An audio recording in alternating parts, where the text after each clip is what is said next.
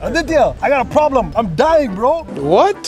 What do you mean? Your life? You're you're smiling I'm and happy. almost dead, bro. Because what I've been working for for all these years is dying or is dead. BRRRR is dead.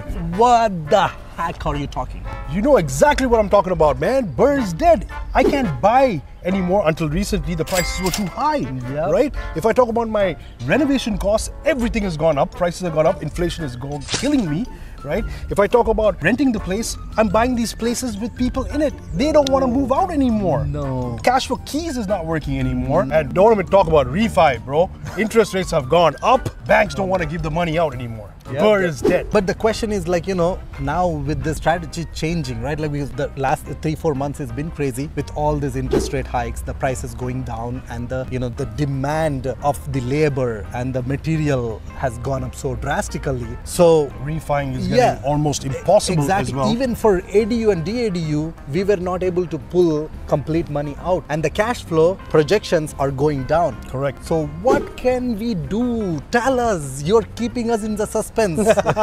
Let's give it to them. Let's give it to them, right? So, the strategy we've been employing right now for the last couple of months is looking at commercial buildings. And not commercial in the sense of we want to keep retail stores because that's Yeah. not something No. that we want to do in Windsor or I don't know anywhere I would say right unless you're in Toronto downtown Yeah, or yeah. even that is probably vacant these days. But taking these commercial buildings, old commercial buildings, and converting them into residential, yep. Right?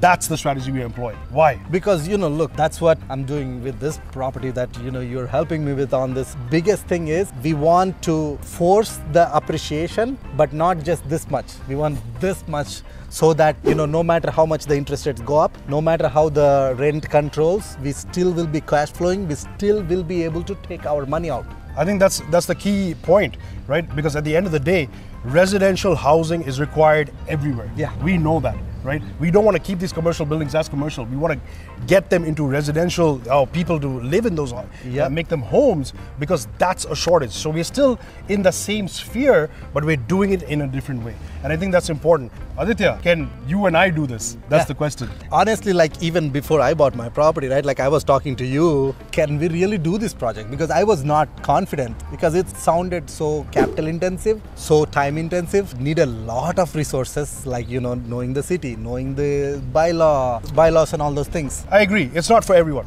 Definitely not for everyone. You have to be a seasoned investor. I don't not even seasoned. You have to have some experience. yeah right? decent and all If you're in your first investment property, probably not for you, right? You how have- about i don't have money probably not for you because you know we're talking about not only from a investment point of view capital injection point of view but it's even time right Yeah. so these projects are usually taking somewhere between 12 18 maybe 24 months Yeah. right so you have to be cash rich maybe you know to say that okay i'm going to hold this building and hold it Yeah. with all the costs involved while i'm doing this project there's technicalities of course Yeah, right? exactly. And you know, it's not easy because first of all, like the sounding itself is like so much resources needed, so much money needed. Everything is like high level of stress to keep it in simple. And I was going through that. If without your help, like you know, I would not been taking this kind of projects. So like going forward, like for someone who is interested to learn this kind of projects, what can we do for them?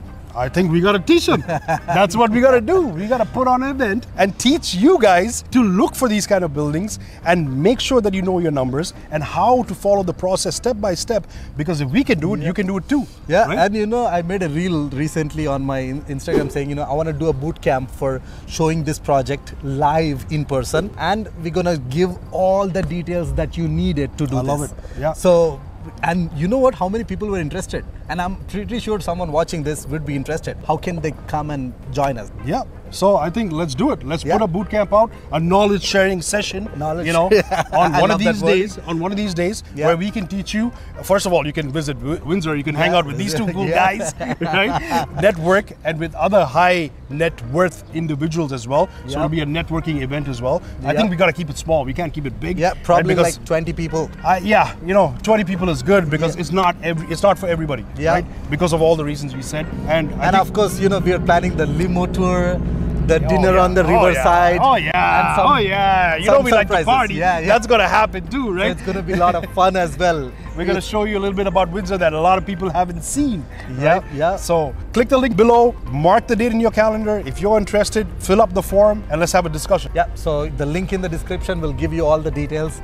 And of course, you know, we love to help you to grow. And like Sam mentioned, this is not for everyone. If you're a newbie, check out other videos, how to get your first property, how to save up money, all those things. Check out the other videos. But if you're someone already have some money, already own some rental properties and you're making decent living income, 100, 200, 300,000, then click the link and cannot wait to see you in person. Absolutely. Awesome, man. So cannot wait to learn, teach you on the accelerated cash flow BRRRR strategy with you guys. So Sav, you have some name for this BRRRR strategy. What is it? oh, do I? Oh, yeah. Oh, you don't? Okay. Office to homes. Office office to homes. That's what we're doing. We're changing offices to homes. To homes. And I call it a BRRRR strategy that has taken Tim Hortons coffee. yeah. awesome. So cannot wait to see you guys.